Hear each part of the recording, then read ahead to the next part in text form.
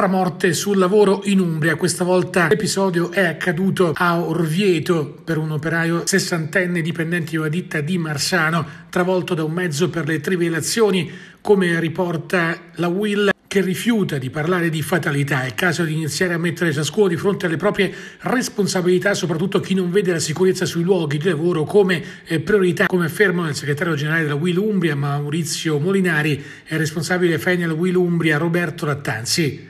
La garanzia di sicurezza sui luoghi di lavoro è ormai una nuova emergenza che in Umbria va affrontata subito, affermano serve un coordinamento istituzionale e l'applicazione delle normative che le organizzazioni sindacali hanno predisposto. Il tragico contatore delle morti sul lavoro in Umbria continua a girare. L'ultima vittima è un operaio edile di 63 anni rimasto schiacciato dal macchinario sul quale stava lavorando a San Venanzo. Ci troviamo di nuovo ad esprimere il nostro cordoglio ai familiari e ai colleghi di questa ennesima vittima, commentano in una nota CGL CISL, ma sappiamo bene che le parole di circostanza ormai hanno perso di senso. La strage sul lavoro che vede l'Umbria essere maglia nera in Italia non si fermerà finché alle parole non seguiranno fatti concreti, perché interrompere questa scia di sangue, proseguono i sindacati, non è impossibile, occorre però decidere di invertire una volta per tutte la logica del profitto sopra ogni cosa e investire nel benessere e nella sicurezza delle persone che lavorano. Come CGL Cisle Will abbiamo presentato nelle scorse settimane una piattaforma in 18 punti molto concreti per sottoscrivere un patto per la salute, sicurezza e ambiente nei luoghi di lavoro nella nostra regione. Crediamo, e questa ennesima tragedia lo conferma ancora una volta, che non ci sia più tempo, concludono i sindacati. Vogliamo che l'Umbria si liberi di questo vergognoso primato e diventi un luogo sicuro in cui lavorare. Che oggi purtroppo registriamo un'altra morte sul lavoro quando accadono queste situazioni eh, tutto il mondo del lavoro è sconfitto, quindi serve una maggiore responsabilità da parte delle imprese ma anche da parte dei lavoratori e quindi noi chiediamo maggiore attenzione e soprattutto una formazione costante e continua. La proposta che vogliamo rivolgere è meno formazione in aula e più formazione nel luogo di lavoro in modo tale che i lavoratori possano acquisire maggiore consapevolezza in termini di sicurezza e di salute. Intervento decisivo a Terni degli agenti della Polizia di Stato che sono riusciti a fermare un cittadino di nazionalità rumena di 33 anni pregiudicato che eh, è stato trovato all'interno dell'abitazione di un amico in possesso di un coltello. L'uomo avrebbe buttato giù la porta d'ingresso dell'appartamento del connazionale di 41 anni. Il ragazzo è stato identificato e perquisito. Nella tasca dei pantaloni è stato trovato un coltello uso caccia che è stato sequestrato. Era già stato sottoposto alla misura dell'obbligo di dimora nel comune di Terni. È stato arrestato per violazione di domicilio aggravata dal danneggiamento del portone e per porto abusivo di armi. Il giudice ha disposto gli arresti domiciliari con l'utilizzo del braccialetto elettronico. Il 23 settembre è entrato l'autunno, eppure a guardare il termometro le temperature fanno pensare a tutt'altra stagione perché il caldo a farla da padrone su tutta l'Umbria. La colonnina di mercurio ieri ha superato i 30 gradi in diverse città della regione, anzi nei centri principali a partire da Perugia, Terni, Foligno, Todi, Orvieto, ma non solo, le temperature hanno oscillato tra i 31 e i 32 gradi e mezzo, 33 a Bastia Umbra. Il caldo però caratterizza anche l'alta quota, se è vero che il termometro a Forca Canapine, oltre 1500 metri sul livello del mare, ha superato i 18 gradi, mentre a Norcia e Cascia i gradi sono stati 29. L'alta pressione non è destinata a diminuire nelle prossime ore. Secondo le previsioni, infatti, anche domani, mercoledì, il tempo sarà ampiamente soleggiato su tutta l'Umbria e le temperature non subiranno significative variazioni. Cava e stabilimento Colacem di Spoleto, la CISL Umbria e la Filca CISL Umbria continuano una battaglia che ormai dura da anni e si svolge su più fronti. La storia non va dimenticata. Sono Angelo Manzotti, segretario generale CISL Umbria, ed Emanuele Petrini, segretario regionale Filca CISL Umbria, a prendere la parola per una vicenda che progressivamente ha portato ad una preoccupante diminuzione di occupazione in un territorio importante quale quello spoletino. Prosegue il silenzio assordante delle istituzioni, in primis del comune, affermano Manzotti e Petrini in una nota. Un silenzio che fa male, visto che a mesi dal rinnovo della concessione, senza che, a quanto ci risulta, siano state prese in seria considerazione proposte di altri imprenditori, dai proclami del sindaco che si era impegnato di chiedere all'azienda un piano industriale prima di rinnovare la concessione e dal possibile investimento di riqualificazione da parte della regione, non ha lasciato scampo alla la speranza a chi ha offerto per anni la propria professionalità in questa realtà produttiva. La Cislumbria e la Filca Cislumbria chiedono alla politica e alle istituzioni coerenza per un territorio che continua ad impoverirsi dal punto di vista economico ed occupazionale. Alla Regione, concludono i segretari, chiediamo di convocare un tavolo di confronto regionale con il Comune per fare il punto della situazione in essere ed eventuali opportunità di rilancio del sito e quindi dell'occupazione stessa. Importante investimento deciso dalla Nestlé Perugina sullo stabilimento di San Sisto per un importo di 6 milioni e mezzo di euro per rendere proprio il sito del quartiere perugino un hub internazionale per le tavolette di cioccolato bianco, con una produzione che arriverà fino alle 4.000 tonnellate. Una bella notizia che arriva da una nota di RSU dello stabilimento e dai sindacati territoriali Fly CGL, Fai Cisle e Willa Willa che nei giorni scorsi hanno avuto un confronto con il management di Nestlé Italia insieme a Confindustria.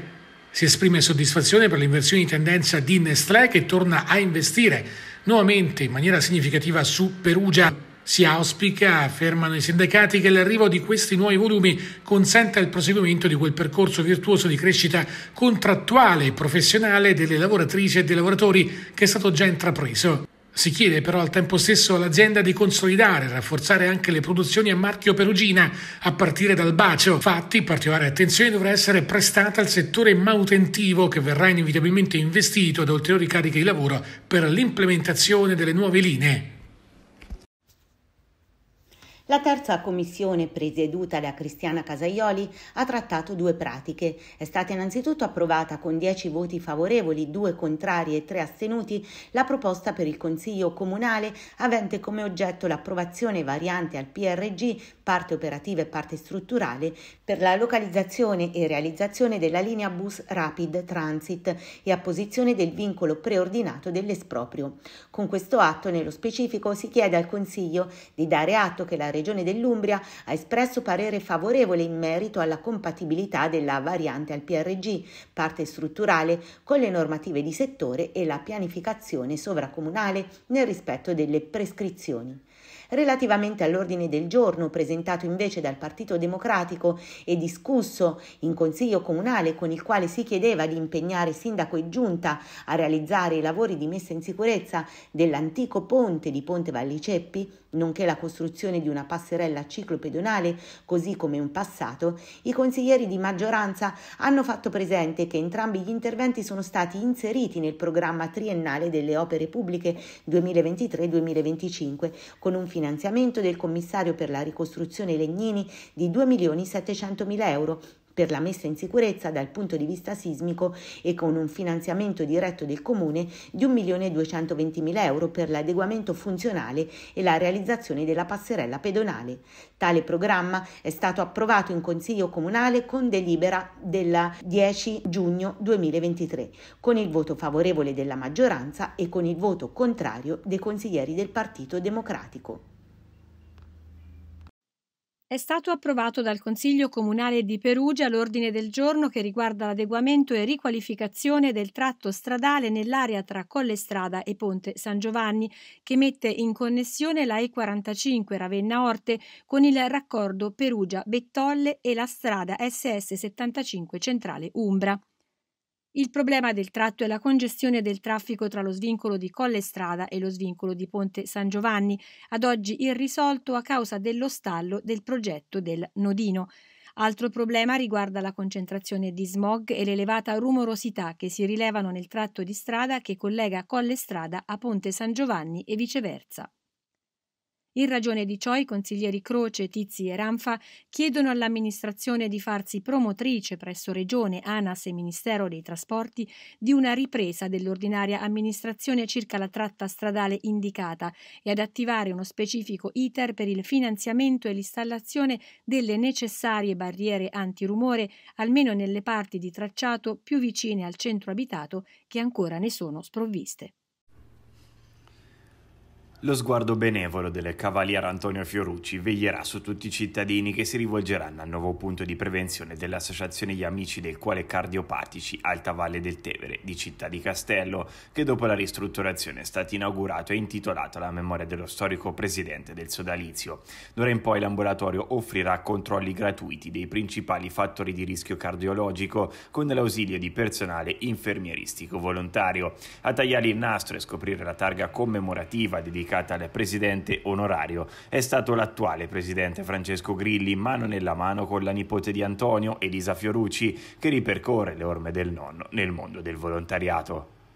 Era crollato il tetto e noi abbiamo colto lo spunto del male per costruire il bene e abbiamo, l'abbiamo riattato bene bene con i mobili nuovi, con i fregi decorativi molto molto belli eh, dipinti dalla signora Maria Cristina Bartoli e c'è una mano che sormonta il nostro motto un bel motto che il Consiglio ha approvato e questa mano è stata dipinta dal pittore Luciano Trombi. Qual è il senso di questa inaugurazione? Il senso di inaugurazione è che dobbiamo legarci col territorio perché in quel punto prevenzione si fa un'attività che serve per prevenire appunto le malattie cardiache e sappiamo bene, lo sanno tutti, che quanto conti la prevenzione per la salute delle persone. In occasione di Ottobre Mese Rosa, l'azienda ospedaliera di Perugia ha promosso l'evento Dona una coperta per le donne arcobaleno a cura dell'associazione Vivo a Colori per sensibilizzare sull'importanza della prevenzione e della diagnosi precoce del tumore al seno. Le coperte lavorate a mano da volontari di tutta Italia, alcune delle quali guarite dal tumore al seno, sono state cucite intorno alle quattro colonne dell'ingresso del Santa Maria della Misericordia e saranno visibili per tutto il mese di ottobre con l'obiettivo di coinvolgere la cittadinanza e sensibilizzare sull'importanza di sottoporsi allo screening mammografico. Dona una coperta per le donne arcobaleno, spiega la presidente di Vivo a Colori, Claudia Maggiurana, è un'iniziativa di sensibilizzazione nata dall'incontro con l'associazione Filo tra le mani di Ruscio e che ha riunito circa 100 donne da tutta Italia per la realizzazione a mano di questi plaid. L'installazione al Santa Maria della Misericordia è stata realizzata dall'Associazione Mani Solidali di Castello il Piano e il ricavato delle coperte andrà a finanziare i nostri progetti a sostegno delle donne con tumore alla mammella. Nelle donne il tumore della mammella rappresenta la neoplasia più frequente, spiega la dottoressa Ambra Mariotti, chirurgo della Breast Unit. L'incidenza di questo tumore in lieve aumento anche in Umbria, ma ad oggi la sopravvivenza a 10 anni supera l'85%. Questo fattore è dovuto sia alla prevenzione, che riveste un ruolo chiave, sia alle terapie sempre più innovative nella lotta ai tumori. Sono oltre 400 gli interventi eseguiti ogni anno presso la Breast Unit dell'azienda ospedaliera di Perugia, la struttura che si occupa del trattamento chirurgico della patologia, soprattutto neoplastica, della mammella. Il 12 settembre sono stati superati per la prima volta i 400.000 transiti, con il dato progressivo che al 30 settembre si è attestato a quota 436.783 passeggeri.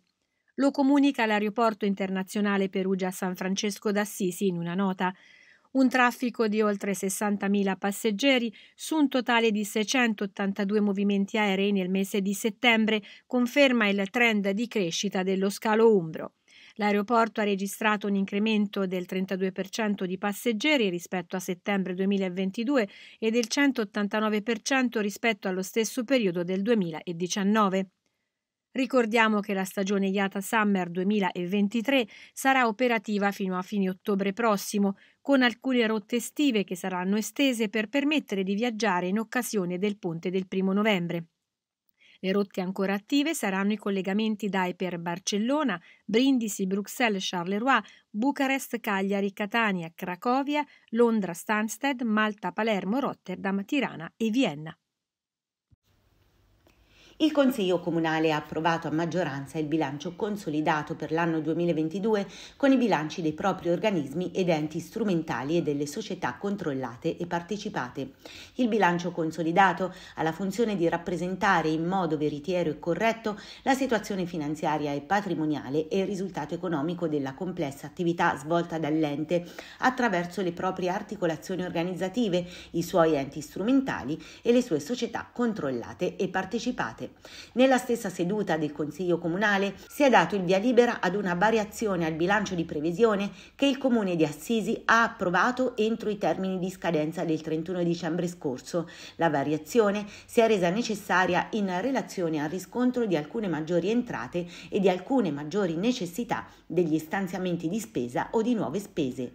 Tra le variazioni più importanti, lo stanziamento di ulteriori 205.629 euro per il progetto progetto PNRR Rigenerazione Urbana e Riqualificazione di Palazzo Vallemani e 30.000 euro e 515 per un altro progetto PNR relativo alla piattaforma nazionale dati digitali. Numerosi poi gli incrementi di fondi a diverso titolo per le persone e i nuclei familiari più bisognosi, 33.000 euro per contributi abitativi, 40.000 euro per l'assistenza e l'autonomia e la comunicazione degli studenti con disabilità iscritti alle scuole secondarie, quasi 35.000 euro per servizi di integrazione per i cittadini stranieri, 14.000 euro di contributi a famiglie per attività ricreative scolastiche ed extrascolastiche, 35.000 euro per un progetto di vita indipendente, 60.000 euro per rette degli anziani, disabili e minori, 15.000 per contributi alle famiglie per l'acquisto di libri di testo,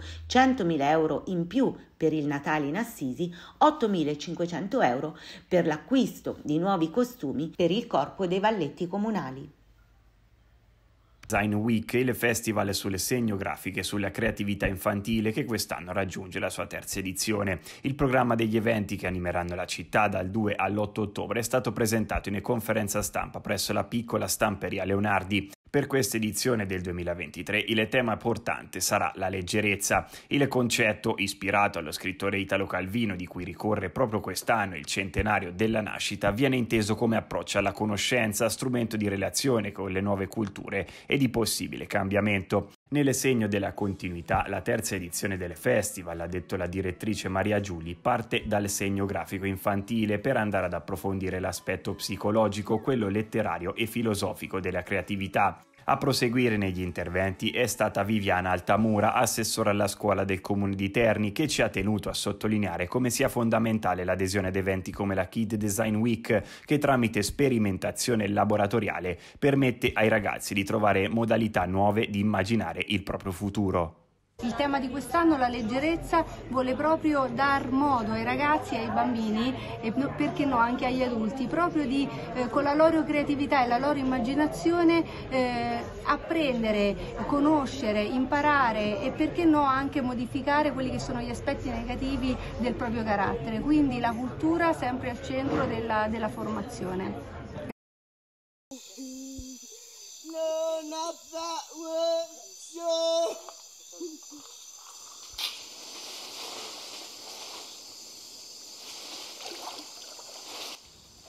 Prosegue itinerante la nona edizione del Perso Perugia Social Film Festival.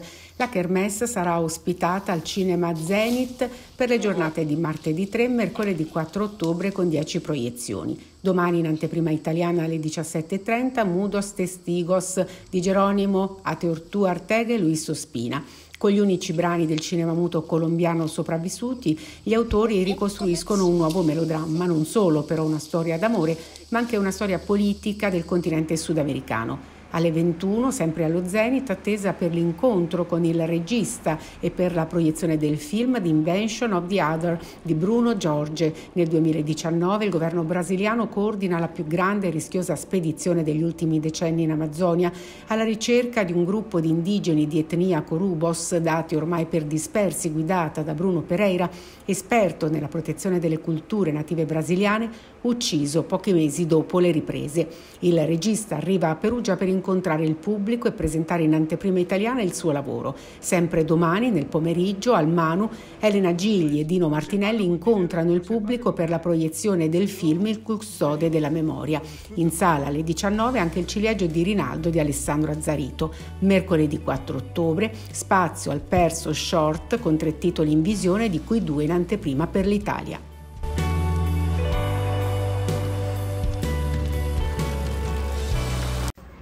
In occasione della festa dei nonni che si celebra il 2 ottobre, la scuola primaria Trancanelli di Cenerente, presso il plesso di San Marco di Perugia, ha promosso un incontro tra vecchie e nuove generazioni. I nonni si sono raccontati provando a far rivivere i loro tempi agli adorati nipoti. Chi ha costruito l'alfabeto dei nonni, cimentandosi con le nuove tecnologie, chi ha mostrato emozionato le foto in bianco e nero seduto ai banchi di legno chi ha portato i vecchi materiali usati a scuola e gelosamente custoditi. La mattinata si è svolta tra risate e mille emozioni, ma è stato un momento costruttivo dove nonni e nipoti si sono divertiti fuori dalle mura domestiche portando in classe il calore casalingo e ancora una volta hanno dato la loro disponibilità per veder sorridere i nipoti. Tra l'entusiasmo generale l'incontro si è concluso con un momento di convivialità. Abbiamo ancora molto da imparare da quello che è un patrimonio da custodire gelosamente come quello dei nonni. Non a caso la loro festa cade il giorno in cui si celebrano gli angeli e i nonni possono perfettamente incarnare questa immagine, quella di angeli sulla terra.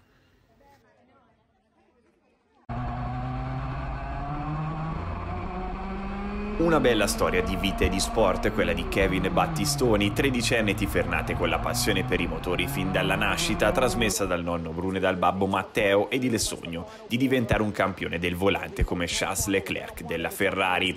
Kevin, studente alle scuole medie di Selcilama, organizza la sua giornata tra famiglia, scuola e prove alla guida della sua monoposto e lo fa con grande passione e dedizione, divertendosi prima di tutto. È salito sul kart la prima volta all'età di 5 anni e mezzo mostrandosi subito a suo agio. Nel 2018 è entrata a far parte delle team 3DK Umbria Motorsport di Bastia Umbra e da lì in poi sono arrivate tante soddisfazioni con vittorie a livello regionale e nazionale. Quest'anno Kevin, a bordo del suo go-kart, si è conquistato la possibilità di partecipare al campionato mondiale OKN che si terrà in Italia a Franciacorta dal 4 all'8 ottobre. Prima della partenza per la Lombardia, il giovanissimo pilota Tifernate è stato ricevuto in comune da una nutrita rappresentanza istituzionale. Sarò l'unico pilota umbro ad andare a fare questa gara. Sono appassionato da karting da 5 anni, precisamente 5 anni e mezzo. È iniziato tutto quando eh, mi piacevano le motocross.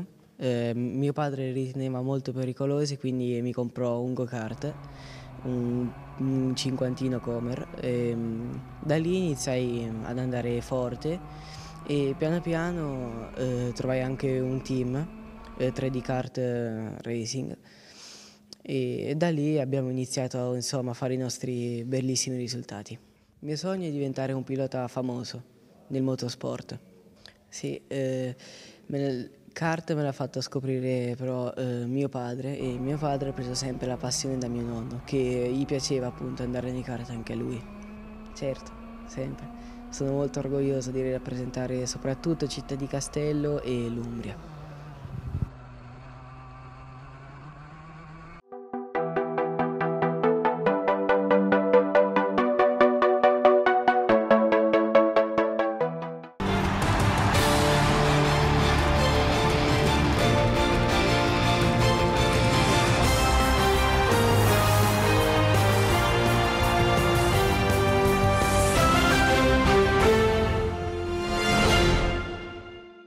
Sappiamo che un, il campionato di Serie C è un campionato difficilissimo, non ci sono partite scontate, ogni squadra ha il suo modo di giocare e quindi oggi sapevamo che era difficile, non perché il Sestri Avanti era penultimo in classifica, perché abbiamo visto che comunque si sono messi bene in campo e hanno avuto le loro occasioni. E questo è un campionato difficile dove, dove, le partite si decidono su degli episodi e quindi, ripeto, secondo me dobbiamo essere ancora più cinici a chiudere prima questa partita perché è quello che ci è mancato oggi.